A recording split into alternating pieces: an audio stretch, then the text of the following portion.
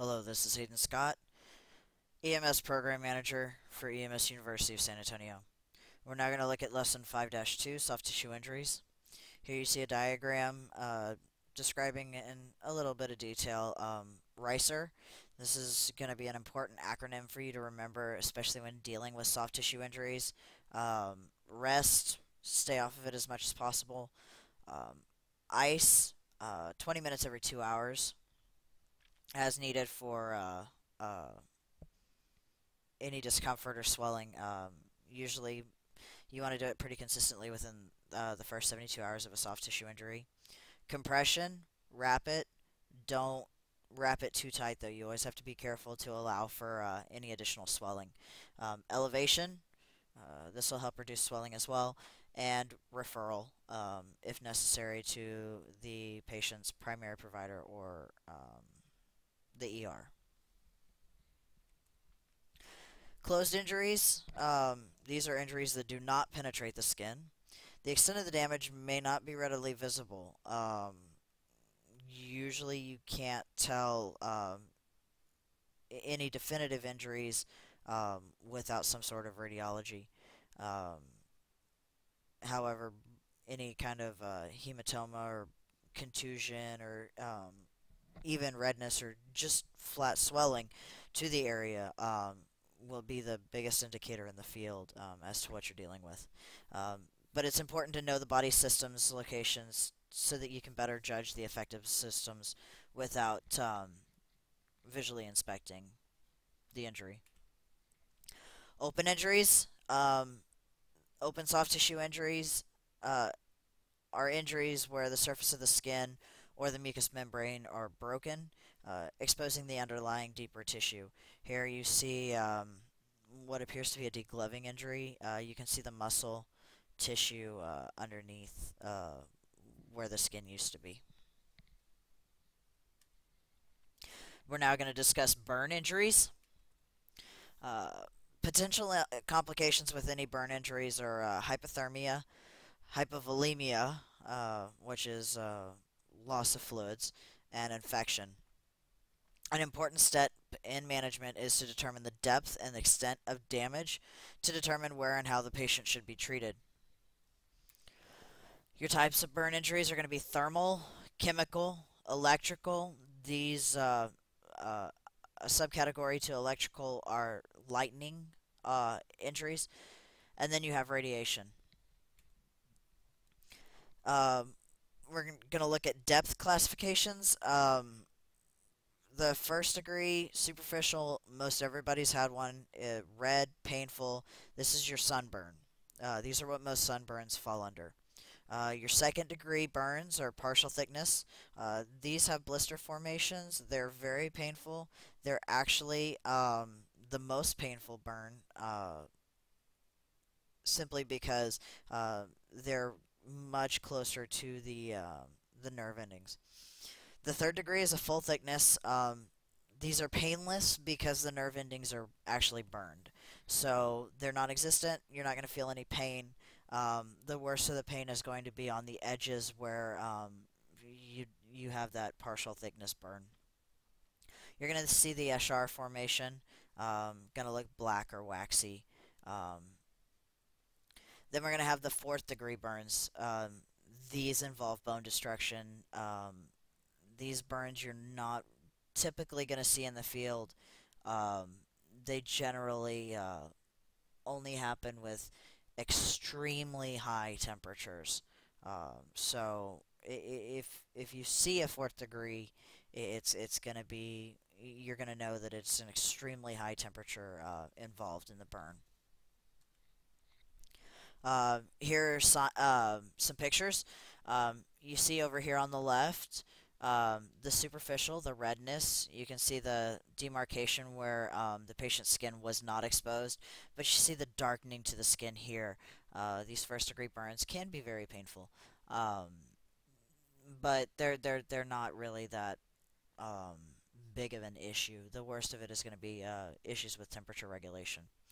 Here on the right, we see the second degree burn, or the partial thickness. You see the where the blister had formed and ruptured.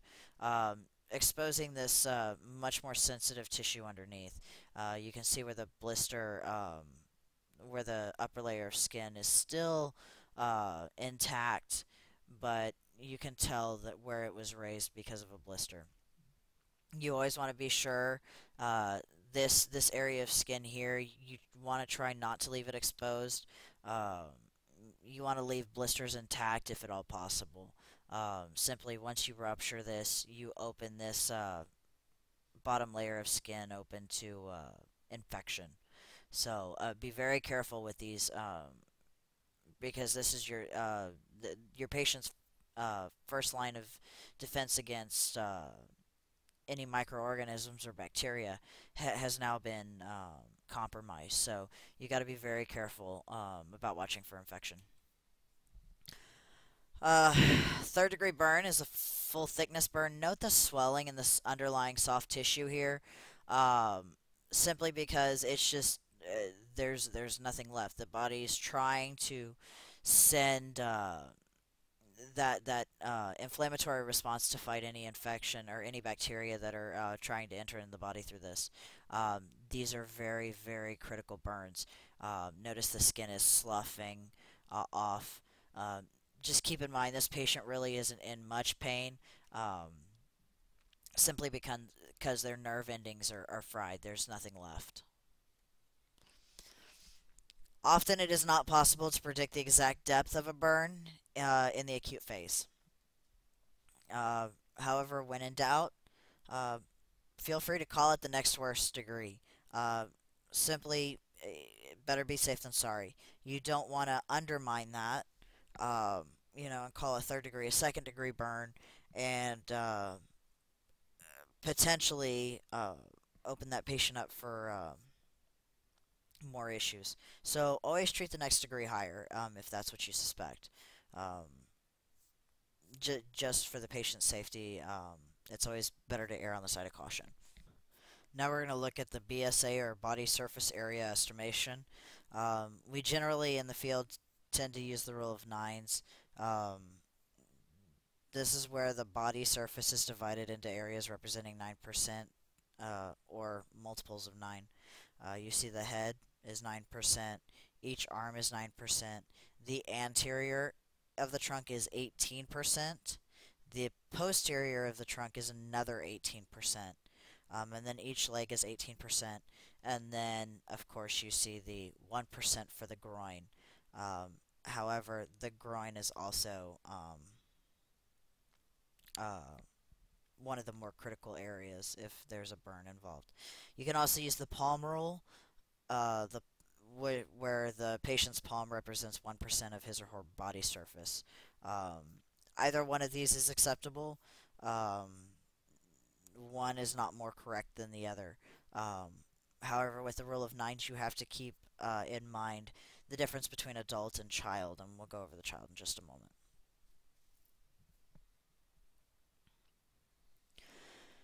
Uh, here we see the pediatric. Um, for each year, uh, over one year old, subtract 1% from the head and add equally to the legs. Um, so, you know, you see the 18% for the, the pediatrics head simply because their head is so much larger than um, their body. So, uh, you know, anything under a year old, uh, it's going to be 18%, and then every year after that, you'll um, as I stated earlier, subtract a um, a percentage, uh, one percent, and uh, add uh, distribute evenly between the legs. Um, otherwise, not much has changed except for obviously the legs are um, lower uh, percentages because it, it, all got moved up to the head. Um, the palm rule also applies, uh, but again, it's 1% of his or her body. Um, the rule of nines for infants includes the head as 18% of the total body surface area. Again, um, this is very important to remember simply because, um, you know, uh, their head's so much larger um, than their body proportionally. Uh, burn severity factors, there, there are many. Um, the depth or classification, um, you know, the first degree, second degree, third degree, and so on. Uh, the BSA that's burned. Also, one of the biggest factors is age. Uh, adult versus pediatric, obviously the pediatrics are not going to tolerate as well. Um, same for your geriatric patients. Anybody over, say, the age of 60, they're not going to tolerate um, these burns well. They already have issues uh, temperature with temperature regulation, so uh, any burn is going to make it that much worse. Pre-existing medical conditions are going to um, obviously play play a, a pretty important role. Um, we're also going to look at the associated trauma. Uh, is it a blast injury, fall? Is there a fall associated? Um, is there any airway compromise? If you notice any singeing around the um, nose or lips, um, you can pretty well bet, or even the um, mucous membrane in the mouth, uh, you can pretty well bet that they inhaled some flames and could have potentially um, done some damage to the airway. So that's something to look for. Uh, also, child abuse. Uh, are they round little burns on the on the child? You know, any is is it indicative of perhaps a uh, cigarette burn? Uh, these things you always have to keep in mind. You, always have to be aware of. Special considerations: your patient's age again, um, less than two or greater than 55, um, they have an increased incidence of complication. Um, like I said, they already have issues with thermoregulation, so uh, burns are just going to complicate this so much more. The burn configuration. Um, circumferential burns can cause total occlusion of circulation to an area due to edema um, or compartment syndrome. Uh, the compartment syndrome could cause pretty severe issues. Um, so you, you need to be aware of that. Um, be on the lookout for that. Restrict ventilation if um, it encircles the chest. Um, you don't want to overventilate or hyperventilate your patient um, too much, simply because you could um, cause more damage to the tissue by trying to hyperventilate or by trying to expand that chest wall. Uh, burns on joint area can cause disability due to scar formation. Um, it's just like um, you know, it the the damage is not going to be done just to the skin. It's also done to the underlying tissue, and those joints, um, you get scar tissue forming in and around those joints, and it'll really, really restrict the movement. So you also need to be aware of this.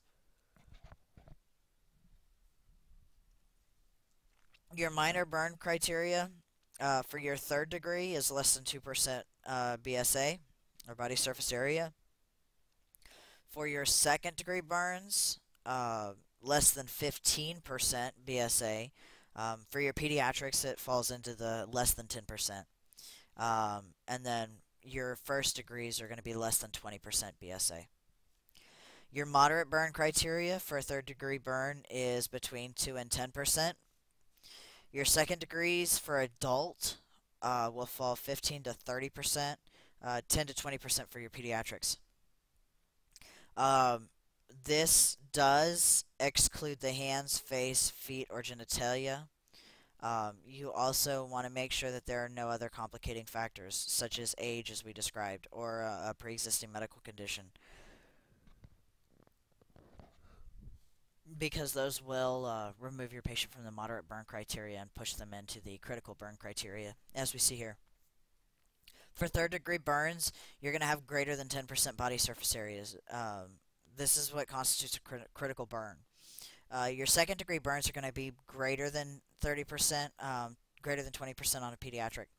Um, your critical burns are also going to be um, any burns with suspected respiratory injury again, when you get that um, singeing of the hair around the nose um, on your male patients, do they have is their facial hair singed? Um, you know, their mustache, their goatee, their beard. Um, is the hair burned? It, is the mucous membrane in the mouth black? Um, same in the nose. If there's any blackening of that mucous membrane, you can pretty well suspect that they inhaled flame um, and that they have sustained a respiratory injury. Any burn that includes the hand, face, feet, or genitals um, constitute a critical burn. Any circumferential burns, uh, burns complicated by other trauma, any underlying health problems, and electrical and deep chemical burns.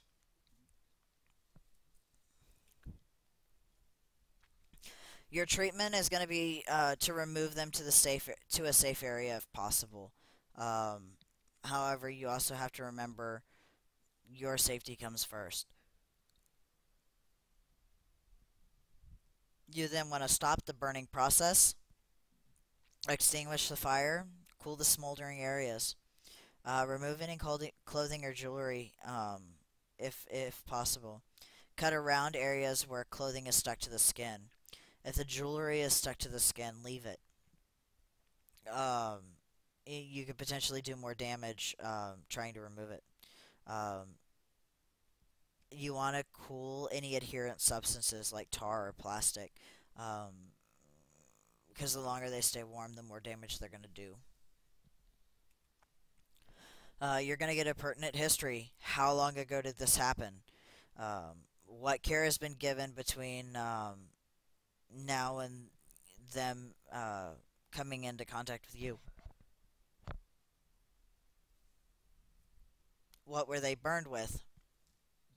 Were they burned in a close space? Um, are there products of combustion combustion present? Um, shrapnel, anything of that nature? How long were they exposed? Uh, was there any loss of consciousness? Um, and of course, as with any injury or illness, always get a medical history. Um, and this doesn't just include illnesses, um, it also includes surgeries as well. Um, because you never know what can be pertinent until you ask the right question. So it's always safe to maybe ask um, for quite a bit of clarification. Uh, never be afraid to ask. Other considerations, uh, you want to, of course, assess the burn surface area and associated injuries. Um, you probably um, want to go ahead and get advanced life support um, on site for pain management and treatment. Um, you do want to avoid topical agents, uh, except as directed by your local burn sitters, uh, centers. Um, these include agents like Silvadene. Um, uh, you should also be aware of your local burn centers. Um, what is your nearest burn center? And what are their protocols? You want to treat the burn wound. Uh, as I mentioned earlier, do not rupture blisters. You want to cover with a sterile dressing, moisten it, uh, but limit it to small areas, you know, less than 10%. Uh, you want to keep them dry for any area larger than uh, 10% due to the concern for hypothermia. Again, as I stated earlier, they have serious issues with thermoregulation. So you don't want to cover, you know, greater than 10% with moist dressings um, simply because the second that um, any ambient air hits it, uh, it's going to immediately cool and could uh, throw your patient into some, some pretty severe uh, hypothermia. Uh, then you want to cover them with a burn sheet. Uh, you want to make sure that you transport your patient to an appropriate facility. Um, uh, is it a burn center or not? You also want to look at um, the severity criteria. You need to know this for your local burn center. Um, what criteria do they have to meet to be admitted into the burn center? Um, or what criteria do they have to meet to be turned away or to be uh, for your uh, simple level 1 traumas uh, centers to not be able to really completely handle um, the burn that you're bringing. Your transport resources. Um, if you're 20 minutes away from the nearest uh, burn center, uh, would an air ambulance be more practical? Is it weather permitting? Always be aware of what resources you have at your disposal. Uh, chances are, you're not going to be the only transport resource available. So uh, always keep an open mind to using uh, your air ambulances. For inhalation burn injuries, ALS. Absolutely no questions asked. This patient needs to have an advanced uh, level provider on board.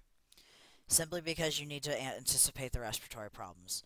Um, head, face, neck, or chest, nasal or eyebrow hairs or singe, hoarseness, tachypnea, drooling present, uh, LOC in um, a, a, burned area or an actively burning area, uh, nasal or oral mucosa dry or red, um, soot in the mouth or the nose, uh, they'll be coughing up black sputum, and again, they're enclosed in a burning area, um, like a small apartment or an office. Um, you can never be overly prepared for something like this. Chances are, if they have any of these signs or symptoms, or markers even, uh, they're probably going to end up having a severe respiratory issue that you alone cannot handle. So um, you need to have that a- uh, advanced level uh, provider on board simply because they can take the airway management um, a step above or a couple steps above where you can.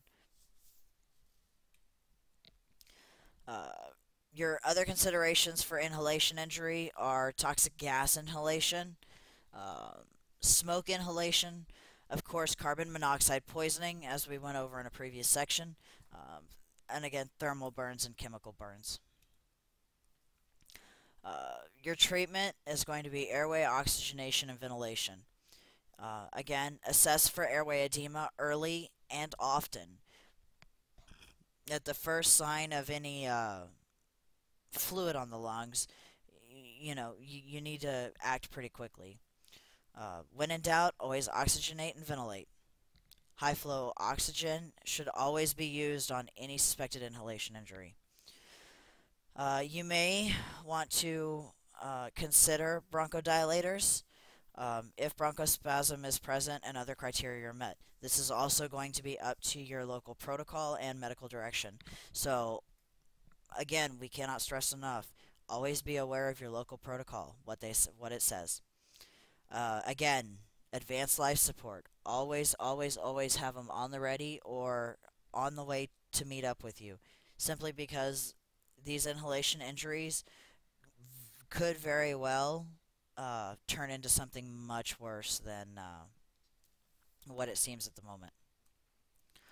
Uh, other considerations, you want to assess for other burns and injuries, of course. Uh, you want to treat your burns to the soft tissues. Uh, treat associated inhalation injuries um, or poisoning. Uh, again, ALS. Always have your advanced level provider, um, at least en route to your location. Again, your transport considerations include your burn center. Um, it could also, for your inhalation injuries, could also be a hyperbaric chamber, uh, depending on the severity and the um, potential uh, injuries uh, that could uh, to the respiratory system. Your chemical burns are usually associated with industrial exposure. Uh, the first consideration uh, is always, should you be here? Does the patient need decontamination before treatment? Um, do they just need a shower, an eye wash station, or is this something that we you need to call in the hazmat team for? Um, so the, these are always the first thing that should run through your mind the second um, you learn or suspect that chemicals are involved. Um, one thing to remember burning will continue as long as the chemical is on the skin. So, as quickly as you can decontaminate uh, these patients or get that chemical off their skin, uh, the better off your patient's going to be for it. Your acids need immediately coagulation type, uh, cause immediate coagulation type necrosis, creating an Eschar, um, those self limiting the injury. Um, these are literally going to eat through your soft tissues. So um, that's one of the biggest things with acids. You've got to look for the Eschar, um, and if chemicals are even suspected, you need to um, take care of it pretty quick. Your alkalis or your bases cause a liquefactive necrosis, um, meaning it literally liquefies the tissue, with continued penetration into deeper tissue, resulting in a pretty extensive injury. Um, these are actually a lot more critical than your acid burns are. So, either way, um, acid or base, they are severe, they are critical, and they need to be handled pretty quickly. Your management, um, of course, the first thing is to get the chemical off the skin. Your lip, your liquid chemicals can be washed off with copious, copious amounts of fluid. Uh, you do want to avoid chemical antidotes uh, in or around the eyes. Um, if applicable, if the eyes are involved, remove the contact lenses. For your dry chemicals, you want to brush away as much of the chemical as possible and then wash off with large, with large quantities of water. Um, of course, flush 20 to 30 minutes to remove all chemicals. Um, you you also want to watch the socks and shoes. They uh, track chemicals uh, pretty easily, so um, they need to probably be removed um, just to be on the safe side. Do not attempt to neutralize any chemical. Um, always be sure you check the MSDS or the Material Safety Data Sheet. Um, you could actually cause additional chemical or thermal burns from the heat of neutralization. Um, it is not a passive um, action. It's it's actually an aggressive action. So um, you could actually intensify your patient's burn by trying to neutralize the agent.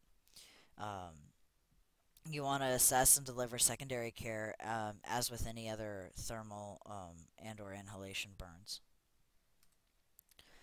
Uh, some specific chemical considerations that you may come in contact in the field with um, chemical mace, uh, CN or CS tear gas, um, OC spray, which is the um, oleoresin caps, uh, capsicum, or your pepper spray. These are carried. These are both common um, chemicals carried by most um, law enforcement agencies, uh, simply as a um, neutralizer for any aggressors. Uh, these cause mucous membrane and respiratory tract irritation. Um, it also causes uh, severe skin sensitization. Sorry. Um, for management, you want to treat any respiratory distress, um, continued irrigation, and shower, shower decontamination. Uh, you cannot rinse these people with enough water, I promise you. Um, protect yourself first, though. Always be sure you have the proper um, BSI uh, and PPE um, on yourself before you even get near this patient. Uh, decontaminate everything afterwards. The only allow the only lasting effect for these will be if there's any allergy um, present in the patient. The effects of these will generally wear off about after about 20 minutes with exposure to wind, moving air, and, and or irrigation. Um, however, if they can they remain in an enclosed space, um, the irritation um, will continue on. Now we're going to look at electrical burns. Um, these usually follow accidental contact with exposed uh, object conducting electricity. Um, the biggest offender in this are exposed uh, electrical wires. Um, you'll always have to be careful with these. Electrical burns can also result from lightning. Um, if this is something that you come in contact with, you really need to consider scene safety. Um, chances are, if your patient got struck with lightning, um, you probably need to get them out of there and get yourself out of there too. Um, if you even make scene, uh, it may be too dangerous. Remember, first and foremost, your safety comes first. Uh, the damage will depend on the intensity of the current. Um, you know, are are they in a high voltage? Have they been in contact with a high voltage power line, um, or was it simply a plug in the wall? You're going to have two different um, intensities of current in, in these two. Um, the severity of the burns will depend on uh, what tissue the current passes through, uh, the width or the extent of the current pathway. Is it an alternating current or a direct current? Um, the duration of the current contact, um, and also the voltage and the amperage. Most damage is done due to heat produced as the current flows through the tissues. The skin burns where the current enters and leaves can almost be trivial looking. Um, you know, you may have a little spot on the palm and the spot on the on the bottom of the foot. However, everything in between can be absolutely um, cooked, can be literally fried. So just because you see a couple of specks doesn't mean your patient's in the clear. Everything in between um, could be just absolute, uh, for lack of a better analogy, well done. The higher voltage may result in the more obvious external burns.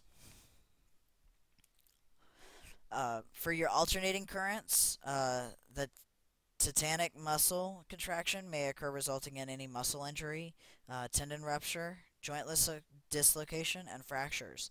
Um, just all of a sudden, uh, spasm is severely traumatic on the body. These spasms may keep the patient from freeing oneself from the current. Um, so you have to be uh, be on the lookout. Uh, if they look like they're still in contact with it, you know, you see those continued contractions, you really need to steer clear from there. Because um, remember, can't say this enough, your safety comes first. In addition to the contact burns, the patient can also develop flash burns um, when the current arcs near them. Uh, flame burns may occur when clothing ignites after exposure to the electrical current. Contact with electrical current can result in cardiac arrhythmias, uh, apnea, as well as seizures. Um, so all all electrocutions, no matter what, get transported. Um, it doesn't matter if they're walkie-talkie, alert, and oriented times four with um, great vital signs. They need to be transported because there's probably damage there 99.9% .9 of the time there's damage there that you can't see and they can't feel. So, it doesn't matter the circumstances, they get transported, no ifs, ands, or buts. Uh, we'll look at radiation exposure now. The waves or particles of energy that are emitted from radioactive sources um, are the cause of these. Uh, you have alpha particle radiation. Uh, these are the alpha particles are very large. They travel a short distance, um, and they have minimal penetrating ability. Uh, however, they can harm internal organs if they are inhaled, ingested, or absorbed. So um, it, it's usually pretty good to be aware of what's around you. Uh, your beta particles um, are small. They have more energy and a little more penetrating ability. These usually enter through damaged skin, ingestion, or inhalation. And by damaged skin, we mean, you know, sunburn skin. Any skin that's been damaged. Um, your gamma ray and your X-ray radiation are the most dangerous penetrating radiation. These may even produce localized skin burns uh, and pretty extensive internal damage. So if you notice the the you know, a very localized burn area, um, and they're having some, you know, respiratory issues or their vital signs are really not doing well, you may suspect a gamma ray or X-ray uh, radiation exposure. Um, again, these may these exposures may result in external injury, contamination, um, an incorporation injury even combined injuries as well. The effects of the injuries are completely dependent on the duration of the exposure, the distance from the source, um, as well as any shielding. Which is why anytime you have x-rays, they have to put a lead shield over your groin or your um, armpits or your neck. Um, just because those uh, x-rays can't get through that lead. So you need to um, uh, keep in mind if there was any shielding, what was it? These patients are usually at pretty good risk for uh, delayed complications. Your special burn considerations, um, your for your pediatric patients, their skin is extremely thin. Um, this increases the severity of burning um, as relative to adults. Um, of course, you also have to look at the large surface to volume ratio, um, simply because uh, severe burns will cause extremely rapid fluid loss in a child. Um, and as we discussed earlier, they have an increased heat loss, which will cause uh, um, a hypothermia to occur. Uh, they already have issues with thermoregulation. This is just going to exacerbate that. In kids, there's a delicate balance between dehydration and overhydration. So you have to, uh, if the scale tips one direction or the other, it, it could be extremely detrimental to your patient. Um, plus, they have immature immunological responses, uh, so they're more prone to sepsis with burns. Um, but again, you always have to consider, at least in the back of your mind, the possibility of any child abuse.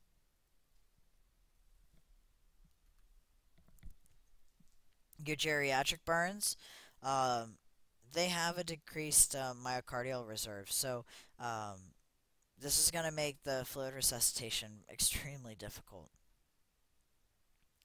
Um, peripheral vascular disease and diabetes uh, will cause a slow healing.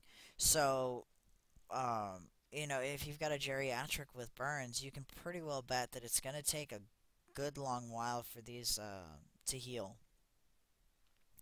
Um, geriatrics generally tend to have more occurrences of uh, COPD or chronic obstructive pulmonary disease. This increases the complications of any uh, airway injury. Um, so if you suspect an airway injury and your patient has a history of COPD, you can pretty well bet that um, they're in a pretty hot zone. They need to uh, be assessed pretty quickly. Um, and they also have poor immunological response, um, which makes them more susceptible to a sepsis state. We're now going to look at trauma assessment and uh, the management considerations. Speed kills. Traumatic injury occurs when the body is exposed to force beyond its tolerance. The energy of a moving object is called kinetic injury and is calculated uh, as we see here below. Uh, the kinetic injury uh, equals mass times velocity squared divided by 2. The law of kinetic energy says if you double the weight of a moving object, the force doubles. And if you double the speed, the force quadruples. Um, so you, you always want to keep this in mind um, on any kind of uh, trauma. The amount of kinetic injury or energy or force that is delivered to a human body dictates the severity of the injury. Uh, significant mechanism of injury, you always want to look for evidence of high energy penetration by a projectile or significant direct or indirect force. For example, um, do you have a bent steering wheel? Is the windshield broken? Um, what's the damage to the exterior? Uh, is there any intrusion into the passenger compartment? Um, also, the patient may present with what we call Droff syndrome, for it's spelled backwards. Um, are they when you expose the chest can you see um, the the steering wheel the interior of the steering wheel um, outline these are things that you have to be aware of if you see any kind of signs like this chances are your patients uh, had some pretty severe trauma EMTs are not expected to make an accurate diagnosis in the field. The language that you use in your written report should reflect your impression of the injuries based on the evidence you collect. For example, the mechanism of injury, your patient's chief complaint, and their signs and symptoms. Um, this is the difference between assessment and diagnosis. Uh, you can assess and make uh, uh, general impressions um, based on the evidence, um, but it's always uh, vital that you not attempt to diagnose in the field. Uh, soft tissue injuries involving the joints. Dislocations are serious injuries that require prompt attention. Uh, these are characterized by marked deformity, swelling, pain aggravated by movement, loss of the natural motion, numbness, and impaired circulation to the limb. Assessing uh, CMS function. If you suspect a joint is dislocated, assess distal nerve and vascular function by checking CMS. Circulation, motor, and sensory. If a limb has lost circulation, motor, or sensory function, attempt to reposition the dislocated joint and then reassess CMS and note any changes. Discontinue repositioning though if the patient experiences increased pain or if you feel any crepitus during the attempt. Your care for closed injuries, reassure the patient. However, do not give any false reassurances. Check the CMS before and after splinting. Immobilize or splint if indicated. Uh, this will also be uh, uh, dictated by your protocols and medical directions, so uh, treat accordingly. Apply ice or a cold pack. Again, this is where ICER comes in. Um, ice, you immobilize or compress. You're going to elevate. Uh, consider uh, calling in an advanced life support unit uh, for pain management simply because if, if you get uh, be it soft tissue or, or fracture or anything like that, the pain can get pretty severe, especially if there's any swelling uh, that could be leading to a type of compartment syndrome. Um, it gets pretty painful. So if you have them available, you, you really should uh, consider calling in an advanced level provider. Arrange for transport to the appropriate care center. Uh, just keep in mind who, who your trauma centers are. Uh, they'll be the ones that are able to treat uh, these patients more um, effectively. Removal of foreign objects. Um, basic life support providers may remove large, easily removed debris such as glass, splinters, or gravel before bandaging. Um, however, you want to secure large and deeply embedded fragments or projectiles uh, in place with a dressing and bandage. Dressings are used primarily to stop bleeding, and bandages are placed over the dressings in order to secure them and prevent further bleeding. The initial dressing that you use to control bleeding should always be sterile. Keep in mind, you don't want to remove a dressing once you've applied it. Um, if you attempt to remove it, it any sort of clot or um, anything like that could be removed with the initial dressing. You just want to um, apply additional dressings if the ble bleeding continues.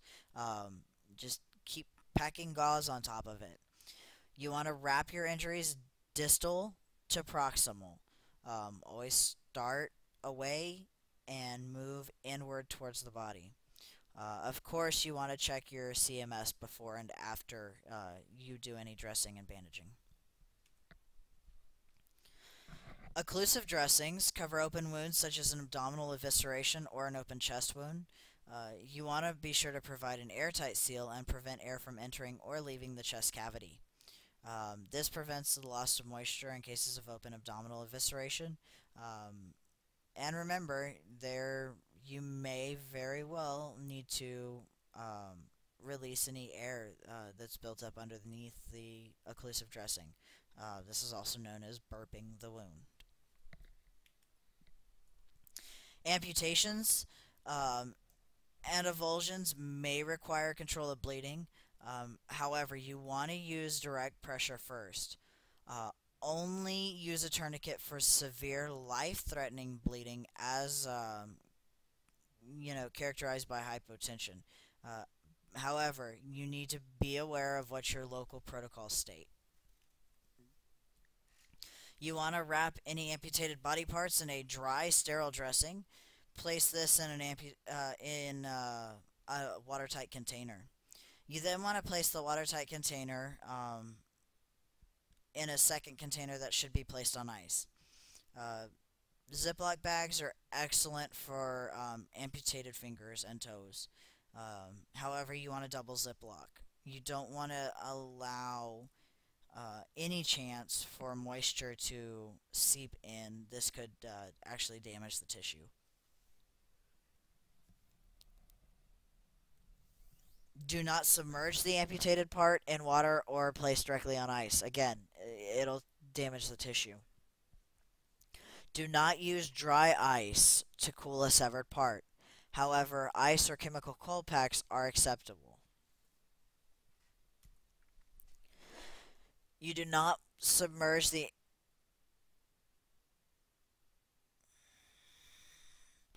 you want to consider sending the body part ahead um, if there will be a transport delay.